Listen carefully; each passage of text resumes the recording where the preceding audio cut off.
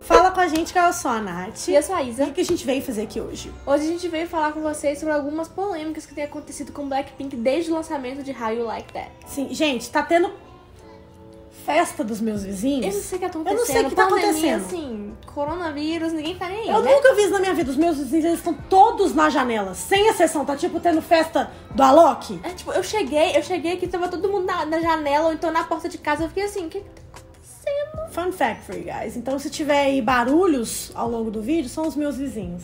Então, cara, na era How You Like That, finalmente Blackpink voltou. E, tipo assim, infelizmente, junto com a fama das meninas, sempre tem controvérsias seguindo ela. A gente fez um vídeo essa semana também falando aí do suposto rumor de namoro, né, entre Suzy e Rosé. Se vocês quiserem dar uma olhada aí na, no que, que a gente achou, no que, que a gente coletou na internet, o vídeo tá bem legal. Tivemos outras coisas aí que aconteceram pontualmente com Blackpink no meio dessas promoções aí de How You Like That. E a gente vai contar um pouco pra vocês, dar nossa opinião também, e deixar vocês inteirados se vocês não entenderam 100% o que, que aconteceu. A primeira polêmica foi com a Lisa, especificamente com ela, porque no último Lily dela, ela tava com uma coisa na cabeça e muitas pessoas levantaram que seria um durag. Durag, ele é um um adorno que as pessoas negras usam na cabeça.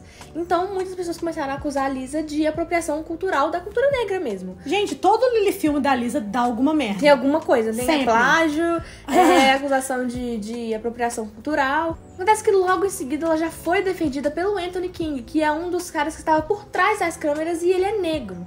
Então ele mesmo disse que não era um drag, era só um scarf mesmo que ela colocou amarrado na Era um cabeça. lenço, gente, era um adorno. Era um lenço, era um era um lenço normal. E ele falou, ele falou, eu sou negro. Se fosse um drag, eu teria, eu seria a Na primeira hora. pessoa a falar sobre isso. Então, foi uma questão assim que Na hora ele teria educado a galera no set. Gente, Exato. vai dar banzé, não, não dá faz certo, isso, não não, coloca. tá certo. Essa foi a primeira, a primeira treta, mas que foi logo rapidamente resolvida. abafada, porque tinha uma pessoa ali, né, gente, com lugar de fala, uma pessoa preta no set, que falou, gente, pelo amor de Deus, não era um não drag. era um drag. Eu sei o que, que é e não era, era apenas um lenço para menos. Essa É porque as pessoas não esperam, esperam. Não, As não. pessoas não esperam saber o que, internet tá esperar acontecendo. alguma A coisa. internet não espera pra saber o que tá acontecendo, pra realmente entender as coisas, sabe? E uma treta que não é tão recente assim, que já aconteceu logo no começo das promoções, antes mesmo do comeback ser lançado, foi a treta e a polêmica do suposto plágio da maquiagem das meninas pras artes de How You Like That. A Maeng, que é a maquiadora oficial das meninas aí do Blackpink, não sei se eu tô falando o nome dela certo, Maeng, alguma coisa. Ela já, o Fendel já reclama um pouco dela, fala que ela faz umas maquiagens meio básicas nas meninas, pouco elaborada, aquelas coisas assim, não sei o quê. E ela se envolveu agora numa outra polêmica, porque veio à frente uma maquiadora chamada Nusha Farin, que também trabalha com isso, dizendo que parte da inspiração e dos créditos deveriam ser dado a ela, porque ela que tinha feito e popularizado principalmente a maquiagem da Jenny, primeiro, antes disso tudo. Eu não sei como que funciona essa coisa de você plagiar uma maquiagem. Uma maquiagem. É, eu não sei como é que funciona. Depois disso, ela até chegou a falar que ela tentou entrar em contato com o ID, só que sem sucesso. Ela não conseguiu falar com eles. Alguns fãs até se mostraram muito chateados por causa dessa falta de cuidado, realmente, de, de perceber que a maquiagem estava realmente muito parecida. Com outras maquiagens já feitas que tipo, talvez Poderia estar alguma na mídia, pudesse estar na... Até quando se trata de Blackpink, gente. As meninas sofrem hate todos os dias. Sim. Elas estão aí no Turn Top pedindo a Blackpink sai você ajuda os Blackpink todos os dias. Então eu acho que todo time que cuida dessas meninas, até por elas serem tipo, um dos maiores girl groups do planeta, deveria ter tipo, um reforço triplicado em cima de coisas ser muito meticuloso e minucioso ali pra cada escolha. Então foi um fall, um fall play da pessoa. Foi, Sim. foi, foi uma pisada na bola aí. E uma outra pisada da bola, que a gente já vai pegar o gancho aqui pra a nossa última polêmica desse vídeo, foi no próprio MV de How You Like That. Se você perceber, na primeira edição do vídeo, o fundo atrás da Lisa, na hora do solo dela, tem uma estátua, uma escultura que parece uma escultura meio assim de um deus e tudo mais.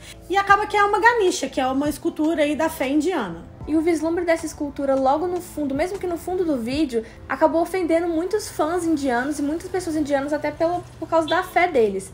E a questão toda também era porque a estátua estava no chão. Os hindus não colocam estátuas de deuses no chão, porque pode, né? Contaminar, eles falam que tá, tipo, tá sujando o- a imagem do deus. Então, realmente, isso foi muito ofensivo pra eles. E começaram a a surgir diversas críticas ao MV por causa disso. Sim. Mas o MV já foi editado e essa parte já foi retirada. Inclusive, gente, foi até interessante, porque os hindus ficaram, né, com raiva e com razão, porque é fé de todo mundo, a gente não deve mexer com isso. Só que eles não direcionaram tanto hate para as meninas, até porque uhum. a gente já viu isso em outros grupos, em outros MVs, onde, tipo assim, corre uma falha grotesca na edição e na preparação dos cenários ou afins, e o grupo não tem nada a ver com isso. A não ser que você pratique a fé dos hindus, assim, você não vai saber desses minúcias, desses pormenores, assim, da religiosidade de certas doutrinas. Então a gente não sabe, entendeu? Então as meninas não têm obrigação de chegar e saber que aquilo lá é uma ganicha que tá no chão e que é errado. Quem tem que fazer essas pesquisas são as pessoas que montam os sets. Exatamente, porque eles que pegaram e colocaram ali e montaram para ficar no visual ali. Então, tipo, eles tinham que saber que aquilo era. Que não é pra estética. Não é pra fé estética. Não é pra fé não é estética. Exatamente. Era isso que eles tinham que ter percebido antes de ter gravado o MV. Mas pelo menos eles remediaram e já editaram um vídeo, né, gente? As meninas já estão acostumadas com esse tipo de ódio, então tomara que. Ah, esse time, gente, vamos orar pra esse time melhorar. É assim, gente, porque assim, o time não tá ajudando as meninas, entendeu? Não. O bom, igual a gente falou, que as pessoas, é, os indianos, eles direcionaram as críticas para quem deveria ser. Exatamente. Não acontece isso sempre na internet. Não. então é isso, então é gente. gente. Se inscreva no canal, dá, dá like, nesse vídeo. vídeo. E vamos rezar pra um time melhor pra Blackpink aí, porque tá difícil. E manda esse vídeo pros coleguinhas Blink que estavam aí sem entender todos os pormenores de todas essas tretas aí, tá bom? Então é, é isso, gente. Um beijo. Annyeong!